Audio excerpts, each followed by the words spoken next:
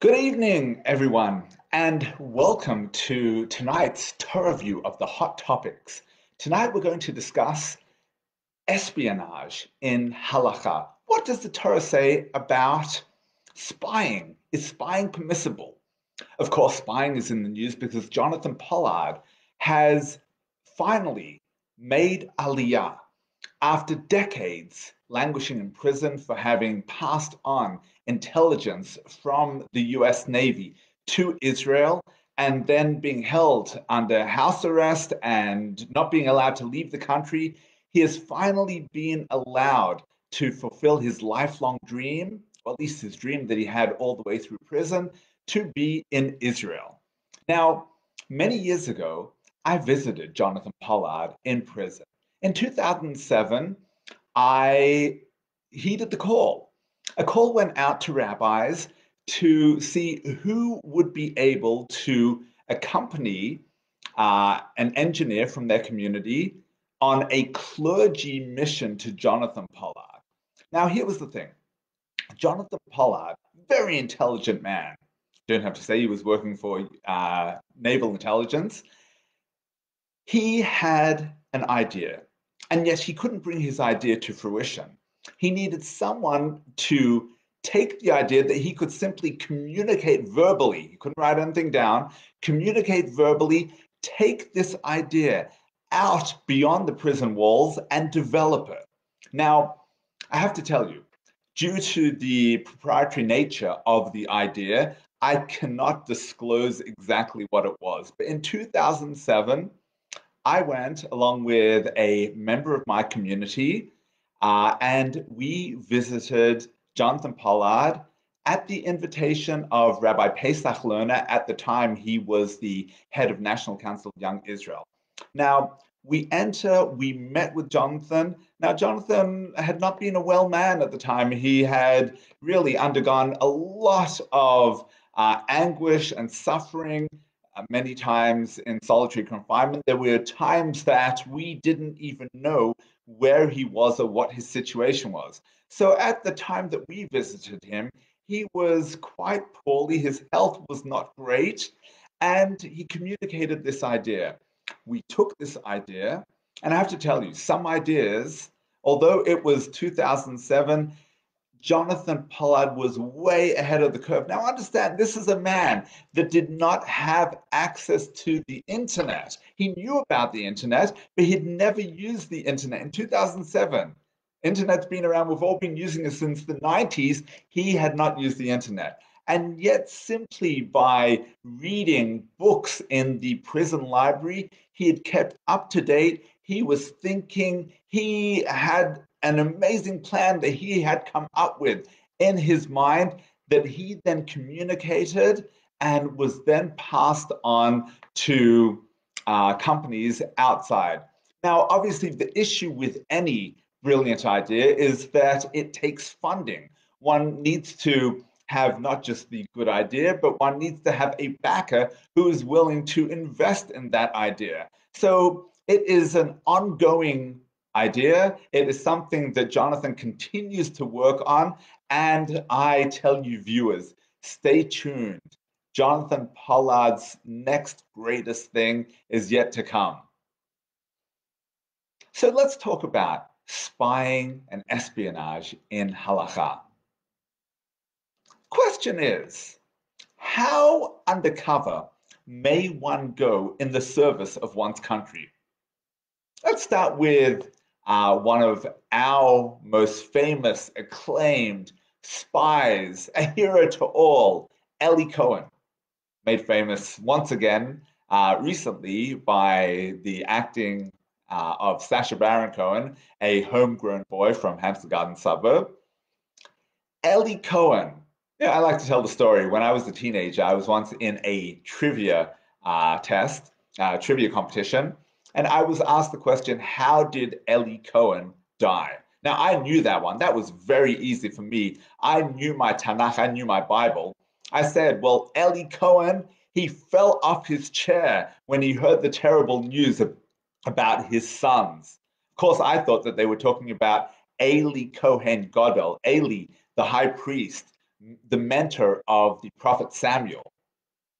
Now, sometime later, as I grew and matured, I learned the story of the contemporary hero Eli Cohen, who sacrificed his life for the safety and security of the state of Israel, the Jewish people. He disguised himself as a Syrian Muslim to live in Syria and be the third in command in Syria. Now, we know that the way that he uh, showed Israel where the Syrian troops were was that he had them plant trees in order to be shaded. But at that point, Israel knew exactly where the troops were hidden. Now, in order for Eli Cohen to maintain his cover, there were many things that he had to do that ordinarily, according to Jewish law, would not be permissible. I'm not sure how religious he was or wasn't, but had he been a religious observant Jew, would he be allowed to masquerade as a Muslim, go to the mosque, pray, bow down to Allah? Are, are these things permissible? Are Other situations, are you allowed to? Obviously, it's not applicable to the Eli Cohen case, but intermarry, uh, eat pork. What do you do? How far undercover can you go for the sake of espionage? What is permissible according to Jewish law? Now, the Torah says in Parshat Acharei Mot, Ushmartem et chukotai mishpatai, and you shall keep my laws and my statutes asher yaseh otam ha'adam v'chai bahem, ani Hashem, that a person should do and live by them. I am God. That's what the pasuk says.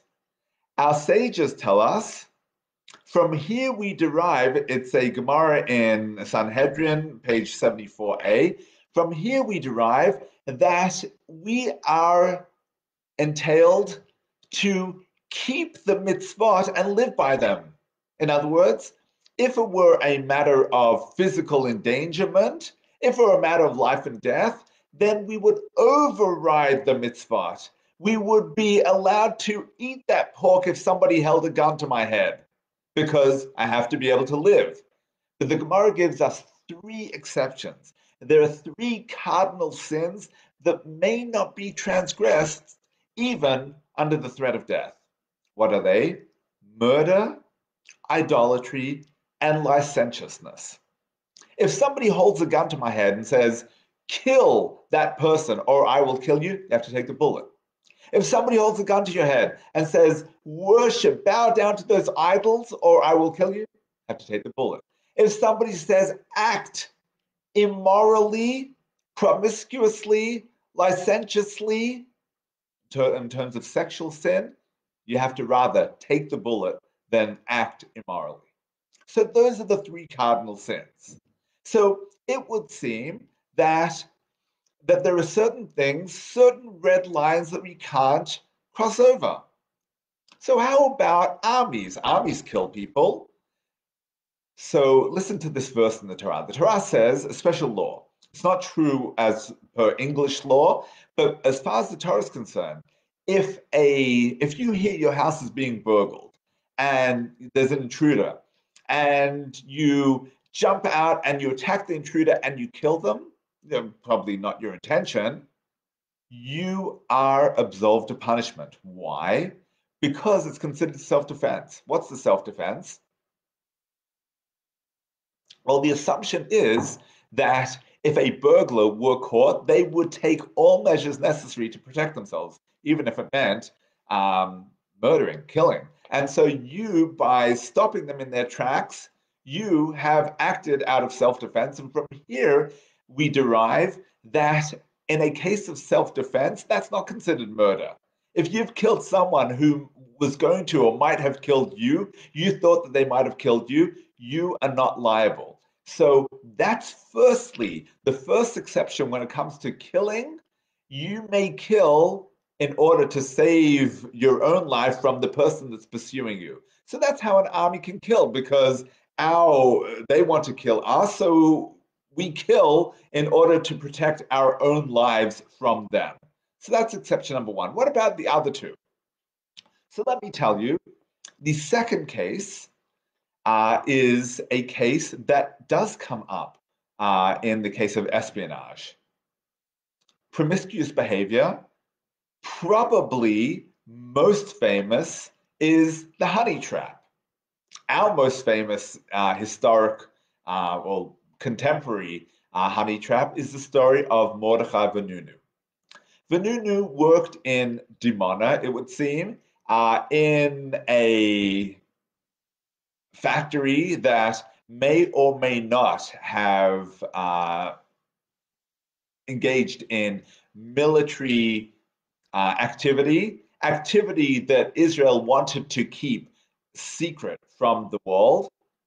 Mordechai Vanunu decided that he was going to sell that story to the Sunday Times. In order to stop Mordechai Vanunu in his tracks, the Mossad set up a honey trap. A honey trap works whereby someone comes and seduces another individual. That way they can trap them. So along goes Cindy. Cindy, whose uh, real name uh, is, was Bentov, uh, she goes and introduces herself to Vanunu in London and entices Vanunu to Rome, where he is taken by the Mossad back to Israel and tried and given an 18 year sentence for espionage. Now, presumably, there was some kind of relationship that took place that would be uh, considered an adulterous relationship. Uh, Cheryl Bentov was married at the time to her husband living in Israel. I think nowadays they live in Florida. And she engaged in a relationship that was outside of her marriage. Was she allowed to do that? So we have a couple of examples in the Torah, in the Tanakh, of uh, people that engaged in promiscuous behavior. And it seems to be that they are extolled by our tradition. The first one is Yael. During the siege of the uh, armies of Sisera, we had the head of the Jewish people, the head of the uh, nation of Israel, was Deborah, the prophetess. Now, they had vanquished Sisera's armies, and Sisera was running away and wanted to seek refuge. He saw the tent of Yael and Hever, who were Canaanites, who were close to the Hebrew people, to the Israelite people, and he says, Can I hide here? Yael says, Please do come in. She then seduces him and she kills him. That is the end of the war. That is the salvation of our people. And she is extolled in the Song of Deborah as the most blessed of women. Now, the Talmud tells us uh, in Nazir 23b that she is called the most blessed of women in spite of her licentiousness, in spite of her promiscuous behavior. That's why the Tanakh has to call her the most blessed of women to show that she didn't sin. What might appear to be a sin was something that was done for the good of the people, and she acted properly. Now, the Talmud also talks about in Megillah 15a about Esther Esther, who was married to Mordechai, is the implication of the Talmud there. And she subjected herself, submitted herself to Ahasuerus, to Achashverosh. And did she act properly? Did she act improperly? Now, there's a suggestion that in the beginning, she really didn't have a choice. Achashverosh called upon all the maidens of the land, and he chose her she probably didn't get to choose whether or not to be part of Achashverosh's harem. The thing is, though, the Talmud says that later, when she chooses, in order to save the people, to enter the inner chamber of Achashverosh, at that point it was on her own volition. And if it was by her own volition, then it was her choice to submit herself sexually to Achashverosh. So if she did that, she apparently transgressed one of those three cardinal sins in order to and which we know eh, one, cannot transgress even at the threat of death. So Rabbi Yecheskel Landau uh, in the Noda B'Yehuda in the 18th century, he similarly lauds Esther uh, the same way that Yael is lauded for her courage and self-sacrifice and says that she did the right thing. But why? He gives a caveat. He says, in the case of uh, Yael or in the case of Esther, they acted on behalf of the entire Jewish people. If it was simply a matter of someone holding a gun to Esther's head and saying, act like this, she would not be allowed to do so. But since she was acting on behalf of all of the Jewish people, all of our lives, Mehodu ve'ad Kush, the entire world is what Achashverosh ruled over, since all of our lives were at stake. So that is an, an exception to the three cardinal sin rule, and one may transgress even the three cardinal sins in such an instance. Now, so we've spoken about killing, we've spoken about licentiousness. How about idolatry? Is idolatry ever permissible? Firstly, what we need to know is it's not so simple that Eli Cohen, pretending to be a Muslim, was therefore guilty of idolatry. Islam is not necessarily idolatry. There's a famous responsum of the Rambam, Maimonides, suggesting that Islam is an exception that if they do hold a gun to your head and say, be an adherent of Allah, go to the mosque, it may be permissible because, after all, Islam believes in radical monotheism, only one God. And it's the same God that we are worshipping, and therefore maybe it would be permissible. And on the contrary, maybe one should rather become a Muslim than take that bullet. But if it weren't Islam, or if it were clear out and out idolatry, would there be any exceptions to our three cardinal sin rule? So the Talmud in Sanhedrin tells the story of King David. King David didn't have an easy life. Uh, at one point, he was pursued by his predecessor, King Saul. Later in life, he was pursued by his rebellious son, Absalom, Avshalom.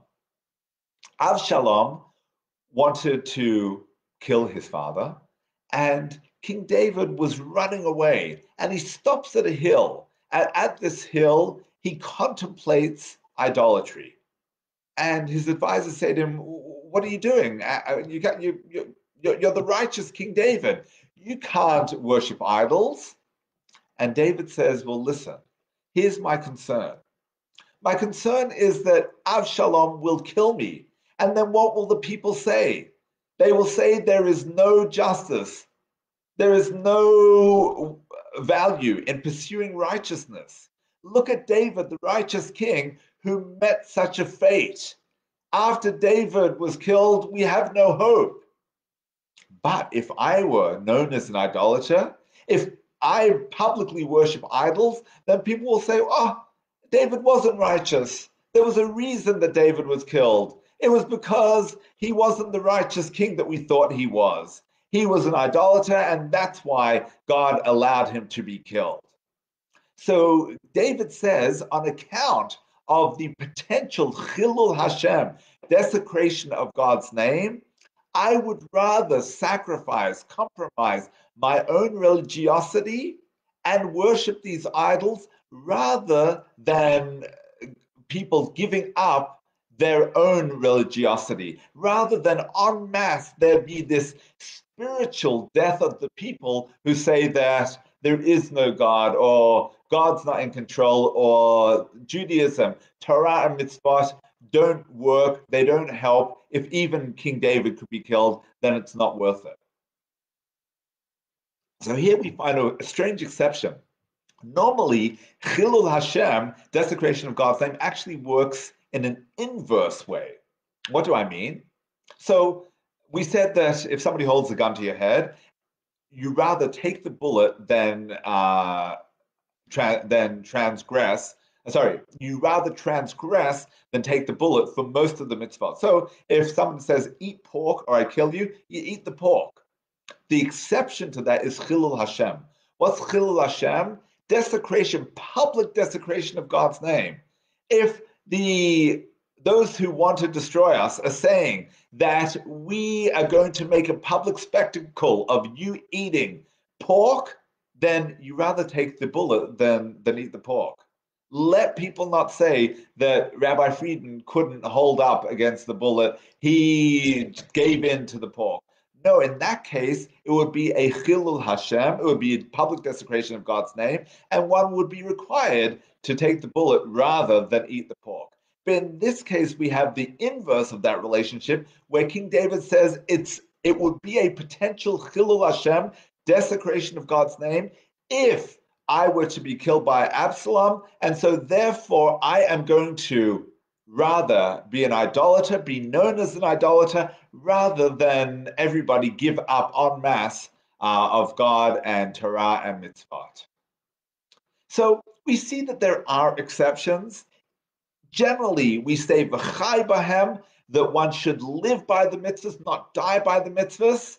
The three exceptions we generally say are murder, immorality, and idolatry. But even those have exceptions for in certain instances. So, what is the general rule? So, Rabbi Shlomo Goren, former Israeli chief rabbi, looks at all of these cases and he says the general rule of the, the overrides even the three cardinal sins is the case of national endangerment. If there is a risk of national lives, then even these three cardinal sins we override. So, again, in the case of killing, so if our army needs to go out to protect the people, then they are allowed to kill because protecting the whole nation in the case of uh, uh, sexual licentiousness. So we saw from Yael, we saw from Esther, and it would be the same uh, in the case of Cindy and the Vanunu case, that for the purposes of national security and protecting the lives of the nation, one would be allowed to transgress even that sin. And so when the entire nation is at risk, even the great three sins, we override for the sake of the greater good. So this ruling has wide ranging implications, not least of which is the permissibility or indeed obligation of a nation to have an army, including a strong intelligence with proper espionage for the safety and security of our people. We hope and pray that very soon no nation will lift a sword to another. Lo yisagoy el goy cherev. Lo yil melchama no no nation will continue to be at war. The day that the nations will dwell together in peace and there will be peace not only in the middle east in the holy land but throughout the entire world. Amen